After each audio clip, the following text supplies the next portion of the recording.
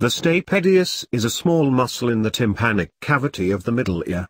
It measures about 1 mm in size and is the smallest muscle in the human body, it would take 26 of these muscles put together to make 1 inch. This tiny muscle attaches to the neck of the smallest human bone, which is called the stapes. A horseshoe-shaped bone. The stapes is sometimes called the stirrup. When a loud sound is heard, this skeletal muscle reflexively pulls on the head of the stapes to reduce excessive vibration and to protect the inner ear. An internal wall of the tympanic cavity of the ear is the origin point of a stapedius. Origin in muscle anatomy is the term for the end of the muscle attaching to a relatively fixed point. Insertion of the muscle refers to the end of the muscle attaching to a freely moving bone. The neck of the light stapes bone is the insertion point for the stapedius. Drawing the head of the stapes backward is the action of this muscle. Nerve support for this muscle is provided by the facial nerve, also known as cranial nerve 7. This nerve emerges from the brainstem between the pons and medulla. When this facial nerve is injured or damaged, a condition known as Bell's palsy can result.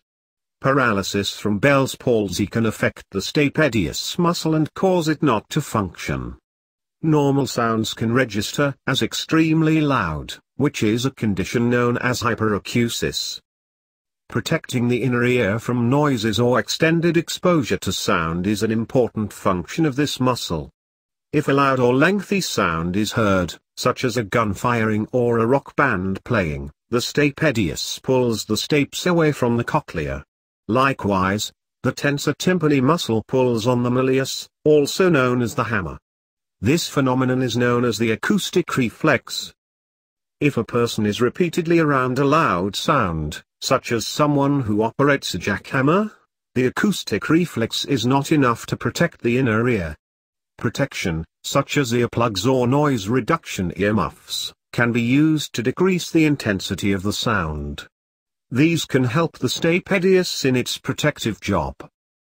Another reflex besides the acoustic reflex is associated with this tiny muscle. The stapedius reflex happens when people speak.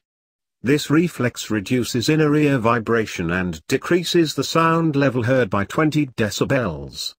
If the stapedius is not functioning properly, a person hears his or her own voice as a loud sound.